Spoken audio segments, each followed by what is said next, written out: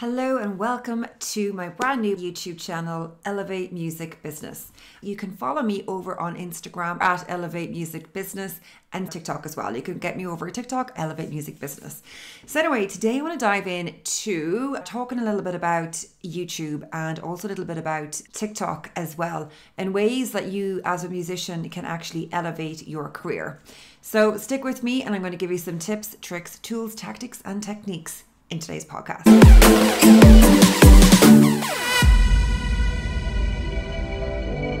So, one of the most important things to do as a musician is to create and curate your brand. You need to be building a brand at all times as a musician. So, therefore, that pretty much means that you need to have an image, you need to have colors going on, you need to kind of stand for something. Because if you're standing for everything and you're, you know, pretty generic, then you're not going to stand out. So the main thing to do as a musician is to actually stand out, of course, naturally. So the way to do that is just really try and differentiate yourself to anybody else. I mean, maybe take everybody that's in your industry and just look at what they're doing and what's missing and maybe what you can add to that particular niche or genre or whatnot. So, this really entails defining your image, creating consistent content, and mainly engaging with your audience. Because as you might know with influencers and whatnot, you have like an Instagram and TikTok, you might like blow up for, you know, a day, a week, a month possibly. But then unless you actually maintain that, you're just going to fall back down through the cracks again. So what you need to do is you need to be consistently building your community, i.e. your fan base and i.e. your engagement with your audience.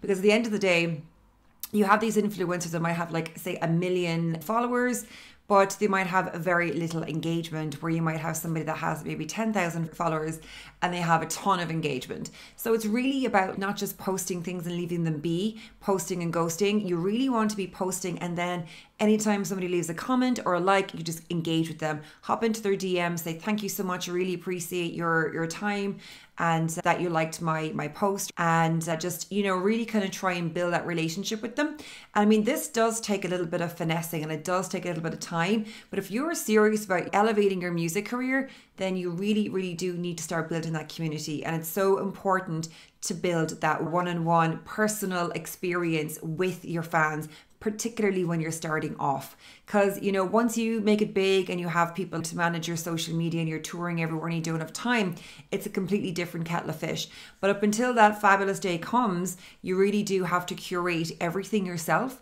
and start from the very bottom and start from scratch. And you need to make sure that you are thanking people, engaging with people, and DMing people and not in a spam kind of way. Sending people just random links just doesn't fly because they're just going to be like, what's this? I'm not even going to write you back. So literally, you just got to make sure that you're in the comments with them, you're starting that conversation, you're engaging with them, and then therefore they're going to appreciate that in the long run and they're going to stick with you also by creating a strong brand you're going to attract more fans because they're going to latch on to what they like about you. They're going to see what's unique what they can relate to and just like what they like whatever that might be. It might be just the the colors you got going on what you stand for might be the, the, the style or the genre. It might be that your emo stand out by you know really experimenting with fashion and you know maybe they, they're really into fashion as well whatever that might be you will attract more fans by literally honing down on your brand and therefore standing out. Also, another huge step in building your music career is actually networking. You really need to make sure that you're constantly networking with other artists, with music industry professionals, and with your fans. And with your fans, this is all about, you know, people that might be getting in touch with you, whether it's on TikTok, whether it's on Instagram, whether it's through YouTube, Facebook, Snapchat, whatnot it's just important to keep that engagement going with them and building that relationship and curating that relationship and making sure that you they know that you're present and you're not just posting and ghosting because if you do that they don't have any interest. I know I said this already but it's so so important. But networking with music industry professionals is a huge thing as well. Um, if you want to head over to my website elevatemusicbusiness.com you will see that I've got a, a post. I talk about getting to know music industry professionals through LinkedIn. So literally just hop on LinkedIn. You can find different people there, reach out to them. Again, you need to build that relationship because they get so many different DMs and people contacting them on a hourly, daily, minute by minute basis that you need to stand out. There's no point in just like getting in touch with them if literally you're just going to be posting and ghosting, sending them a link, and then that's it, you're gone. You know, you never follow up because it's so, so important to actually follow up. Because if you don't follow up, then you're never going, they might just like forget about you. You might just like fall through the cracks and then be like, oh, I forgot to contact that person, but they're not really going to remember because they get so many people coming into their inbox all the time. So you really want to make sure you're staying at the very top of their inbox or top of their messages, and you want to maybe give them a call and just give them a follow up if you possibly can. Uh, Add some another email, but obviously as well, I don't harass them. Like give it a few days, maybe give it like a week or two after you send your initial information across or you contact them initially. And then what you do is you just literally reach out to them and be like, hey, how's it going? I sent this across to you. I'm just wondering if you had a time, if you had the time to look at it and if you've got any questions for me or if there's anything that you would suggest that I should do, or do you have any feedback? Asking for feedback as well is something that is really important because music industry, professionals appreciate that. And even if you're looking for a job and you go for an interview, they really appreciate giving you feedback as well because it's all a part of the learning process. You're never going to learn everything completely by yourself and on your own. You do need to have other people's opinions and other people's feedback, be it constructive criticism or be it just constructive or be it just criticism, whatever it is. You can take it and just learn from that because at the end of the day, you're not going to be able to change and you're going to make the same mistakes over and over, and that is just completely disheartening, not to mention a total waste of time. So, the best thing to do is if they do reject you, or they say we're not interested right now, or we don't have space for you on our roster, or whatever it might be, just go, okay, no problem, thank you so much, really appreciate that. But could you actually just tell me maybe what you would suggest I should do to promote my music career or promote myself, or maybe something with the music that you think that is just not working for the market at the moment, or whatever that might be? Just ask them and, you know, see what they say back and you know, go with that. Another really important tip is to be informed always stay informed when it comes to the music industry. Keep on top of things by reading blogs, by listening to podcasts, by watching YouTube videos. You can actually sign up to a whole bunch of different music business news. I think there's like Music Business News Week, and there is a ton of other ones as well, not to mention music magazines. So there's always information in that about what's actually happening with the music industry. You might have something on the lines of someone who's been bought out by somebody else. All of that is actually quite relevant to you because let's say, for example, if you intend and getting signed and maybe your your type of genre is with Sony then if they get bought out by somebody else you want to see what happens with their roster and the, the type of the, the genre that you are in and all those artists that are also in your genre that are signed to sony like what happens with them? Is this going to mean for you that it's going to be easier for you to be able to get in touch with them since they're going they're in the middle of acquisition at the moment? Or is it going to mean that like they're not going to be looking for anybody new? All of these little things are important because if they're not looking for anybody new because they're going through an acquisition process then in that case you know just don't waste your time. Or if they're starting a whole new section and they're starting with like new people you want to be able to find out who those people are and you know if they might be interested in you and if you're interested in your genre um a whole bunch of things. I mean, you got like different information coming out about like new AI tools, about new music equipment, about like new music magazines, or maybe even getting in, in touch with journalists as well. And going back to what I was saying earlier on about networking, it's really important actually to make sure that you are networking with journalists because let's say for example i think the best thing to do is like when you know your genre and you've got your image and you've got your brand down know what publications would suit you, what blogs would suit you, what podcasts would suit you, what radio stations would suit you, what DJs would suit you. Who plays your music? Who writes about you? Who writes about like your your your genre and artists that are similar to yourself? If you know who writes about you and you know what people are interested in your type of in your space what they're what what they're looking for then you can literally I just follow them on social media i find twitter is really good for that i find twitter is really good actually for music industry professionals again like be that even radio djs and uh, journalists so if you were to like just follow them on Twitter and just hit the bell notification, then you're going to be informed every time they put up a post. And if you're informed every time they put up a post, then that is fantastic because literally at the end of the day, you can just hop on straight away. It's like, oh, got my phone right here. Perfect. Well, i'm just gonna you know go on and immediately you can like it. You can be the first person to like it and then they're going to like be like oh right okay. You can engage you can you know make a comment whatever it might be.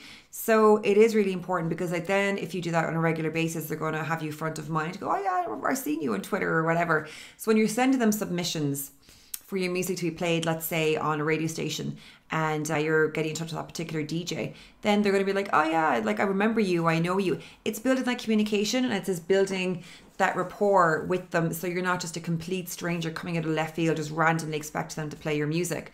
You actually have like engaged with them online you've built up that you know that that sort of little bit of a, a, acquaintance relationship. They have an idea who you are. It's like oh yeah i've seen you online. Okay cool. Do you know? Um and obviously don't troll them either what you want to do is like just you know I mean, I've done it like a load of times as well, and I find it really, really works. They might follow me back sometimes if I do it like, you know, a few times over, like, which is like literally just, you know, follow a particular DJ and when they and hit the bell notification and when they post the second they post it comes up on my phone i click into it and i'll heart it or make a comment or make a laugh or like an emoji like a smiling face or whatever and then like you know having done that like a number of times they then follow me and then they know who, they, who I am. So, you know, that's pretty cool. So that does work and that does kind of help build up that, you know, groundwork from the very bottom to, you know, then maybe eventually writing about you or eventually playing your music. So that is something that's really, really important. So, YouTube has literally become an essential part of a musician's journey in their online presence and social media, brand building, and getting their music out there to so many different people. I've personally worked with artists where I've actually got them on their very, very, very first single, their number one song, got them millions of views on YouTube. YouTube is so powerful and it's literally one, it's owned by Google. So therefore, it's literally whenever somebody was to type in something along the lines of like maybe your genre, the name of your band, or whatever, YouTube will come up. And getting those views is amazing because also then you can monetize that by literally signing up for AdSense. And the more views you're going to be getting, then the more um, money you're going to be making in AdSense. So what you can do, and obviously creating a playlist as well, is a really good idea. And to do that, you need to have I think 1,000 subscribers and 4,000 watch hours in the space of one year and then you can monetize your platform. So it is really important to make sure that you're constantly being consistent with it. So, I mean, whether you're just doing maybe a live recording or maybe you're doing, you could have your own music business podcast. You could have your your uh, your own podcast as a musician, you know, going through the navigating the field of the music industry, the woes, the ups and downs and like the wins and whatnot. You could literally just be talking about like how you're getting on in the music industry with a podcast or whatnot. You can talk about what inspired you. You can just do sort of like your own little DIY interview. You could get a friend to do an interview with you and just stage an interview because then that kind of looks like there's people interested in you as well. So it looks like there's like professionals that might be interested in actually interviewing you. So you could just get your friend, they don't even have to be on camera, write a bunch of questions and then sit down and ask your friend to read out the questions to you and then you can answer them to camera and then it's like oh it's it's a nice interview. As well what you can do is you can literally do some covers. You can record your songs. Besides as well of course as putting up your official videos for release on youtube as well. So the one tip I'm going to mention first is on YouTube is of course as I mentioned already defining your niche. That is really really important because again you want to stand out and there are so many different people on YouTube. So, again, just to reiterate, find out exactly what your genre is and then you can have a subgenre and a micro genre and at the very beginning it's really important to have maybe a micro genre and also as well you can be tagging people that you think whose music is similar to yours that are maybe more successful so that possibly you might come up in the google search rankings. So literally the more you hone yourself down at the very beginning the more you're going to be talking to and singing for that very one person. And when you're talking to one person then you're talking to a whole community of people and then you build it from there and it just grows and grows and grows. Whereas if you just want to talk to the masses from a teenager to like a 65 year old person, you know, from this country to that country, it's just too all over the place. It's too vague, it's too broad, it's too messy, it's not specific. So what you want to do is you really want to define exactly down to the T who you are, who you want to attract, and what you're about. Because if you know what you're about and you tell people I'm about this, then those people are going to start following you. So, as well, once you've defined your niche, what you want to do is you want to optimize your channel.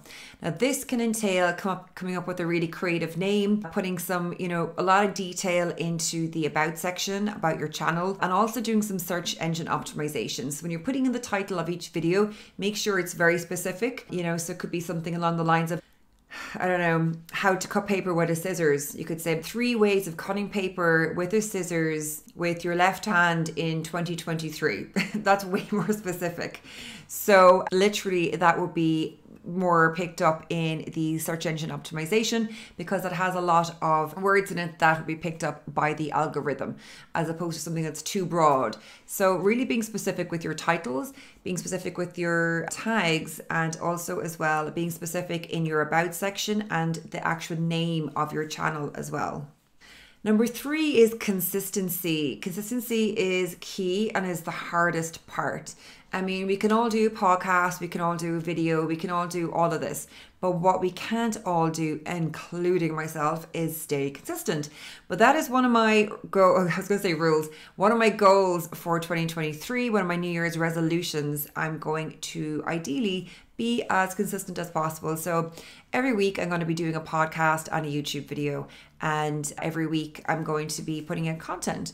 So that is in itself quite a lot of dedication. And if you can do that, then you're doing well. And that is really and truly the only way you can actually really build your fan base, whether if you're a musician or for me, really building my audience as a podcaster is to make sure that I'm staying consistent. Because if you're not consistent, I mean, even as a consumer, might go to, let's say, YouTube channel or might go to um, a podcast on Apple Podcasts or Spotify. And if I start to really enjoy the podcast I'm listening to, but then I realize like that, oh, they, they haven't done a podcast like since 2018 or 2021 or whatever, or like 10 months ago, I kind of get a bit deterred. I'm like, oh, okay, they're, they're, it just for a split second, it kind of comes into your mind, oh, maybe, you know, not as professional or they're not, you know they're not on it as you would like to think so it is important to stay consistent just to kind of keep that sort of professionalism up and it, it just looks good and you know it's really just about taking yourself out of your comfort zone and just pushing yourself to get these things done on, the, on a weekly basis i mean even what you can do as well as you can batch your content to kind of make it easier be it your posts your reels your tiktoks your youtubes your podcasts or whatever so you can literally maybe do one podcast where it's a video and audio and you can put it out there on video and audio and they can maybe snippet that as well to put up on reels and also to put up on TikTok. So, you know, you can actually just do that maybe once a month by literally just you know, using one day once a month, be it a Monday, a Sunday, whatever day suits you, and locking yourself into a room and just recording and then editing and then putting that content out over the space of that month. So you can just do it once a week. So you have like four videos and maybe four TikToks, and they just kind of go out then once a week. And that just saves you doing it every single week because the weeks are short and you know life happens in between. And so it's not the easiest thing to say to stay consistent unless you really work hard at that and you're on every day. But if you just want to batch your content and then schedule it to go out, then that kind of gives you a little bit of time to yourself to work on other projects. Again, with YouTube, just as I mentioned with other things like TikTok and with Instagram or whatever, so important to engage with your audience. So, again, people are leaving comments in the comment section, people are getting in touch with you. Do engage with them, regardless of like whether the comments are negative or positive. Just always be positive in return to the comments because otherwise, you're just going to have like some negative, you know, you're going to have, you know, create negativity, you're going to have like a negative pre- presence on there and people might start to, to to to unsubscribe or you know not watch your your your channel or whatever. So no remain professional. And even if somebody has something negative to say just say look i appreciate your feedback. Thank you so much for your comment and i'll i'll take that on board. So that is really important to stay connected with your even if it is negative and on youtube just as much as tiktok or instagram as well. Also, as well, use YouTube's tools there are a bunch of tools on YouTube. There are TubeBuddy and there is, you know, a few other different things as well that you can add into YouTube for keywords, for analytics, for all of this. So I think TubeBuddy is actually a paid source, but at the end of the day, it is really beneficial because it does help you with, like, say, the title of your video it helps with your SEO, uh, the tags that you're creating as well. So it does work with you to try and make sure that your video is going to be seen by the audience that you want it to be seen by. So do use YouTube's tools because that is what they're there for and they're really, really beneficial and they really do help because I think there's something like a, a, crazy amount of videos, like millions of videos are literally uploaded to YouTube on a daily basis. So you want to be able to kind of, you know, stand out. And the only way you're going to stand out is by using the tools of YouTube and making sure that your your tags, your SEO, your metadata, all of that is there and it's all correct and it's all going to help you grow on YouTube. Now again, don't be deterred if you only get like a few views here and there at the very beginning. It's going to be like that for a while. It does take time, takes dedication and it takes patience and of course consistency. So if you're only getting maybe four or five, you know, views at the beginning for maybe the first six months, eight months, doesn't matter, whatever, just keep going because at the end of the day you will come through. Because you are the one who's going to stand out if you are consistent as there are so so so many people on YouTube that literally just drop off. And so you're going to be the one that's actually going to come through the the crowd with those that have dropped off the same time as you started. So it's really really important to uh, to make sure you're keeping that consistency up. So now let's move along to TikTok and here are a few uh, tips and tricks again for helping you as a musician to grow on TikTok. Now as well actually just going back there with YouTube that there's there are shorts on YouTube now too as you're aware and the short videos are really really really good and you can get a lot of views with the short videos as opposed to the long videos. So as I mentioned as well, just to kind of keep it really simple and easy for you to be able to focus and get this done, you can literally just record a couple of videos or even just one video over in the space of like an hour or two and then edit that video so you have a reel, you got a TikTok and you got a short as well. So you've got all of these and you can and do your podcast and do your video all at the same time. So you can literally just do one piece of content and then use it across all the different platforms. So that is something that kind of does help a lot of people to, you know, keep consistent because if you were doing a podcast, a reel, a TikTok, and you were doing a long video and you know, it's just it's all way too much to do all of that. And you would definitely need probably about a week to do all of them separately, including editing and everything else. So you can literally just do one piece of content and then that one piece of content can just go everywhere. So that is one really handy thing as well, just so that keep in mind. So again, with TikTok, just like in everything else, define your niche. This just goes without saying, and this goes across the board. So I won't go into it again because I think I've mentioned a few times now already, but something that's really, really important, is something you need to know, and something you need to remember, something you need to do. Anyhow, besides that, what you also need to do is you need to make sure that you are using hashtags in TikTok. So, not too many hashtags, but using the right hashtags, particularly in the music industry, can also help you rank on the For You page and, you know, come up other people's feeds. Because that actually just came out there recently that TikTok actually promote their promote videos manually. So it might just be that they might come across and decide to boost you. So it's not necessarily actually due to the algorithm. It is a lot to do with the hashtags as well, because your hashtags will obviously get you found on searches. So literally YouTube, okay, so Google was like the, you know, biggest search engine in the world. And then YouTube was the biggest search engine in the world because YouTube was owned by Google. But now TikTok has come up to actually be the number one. So TikTok is now used as a search engine more than Google and more than YouTube. So literally, if you put in the right keywords, you know, Amazon made me buy it. They do product references. They do like maybe a kitchen hacks, home hacks, whatever it might be. You can do guitar lessons, singing lessons. You can talk about me, whatever it might be. And so people actually do search for that, and you can go through a whole bunch of videos quite quickly and be found there. So the more you know niche and honed down and specific your keywords are, the more you're going to get found on TikTok. So another way to work the YouTube monster that it is is collaborate.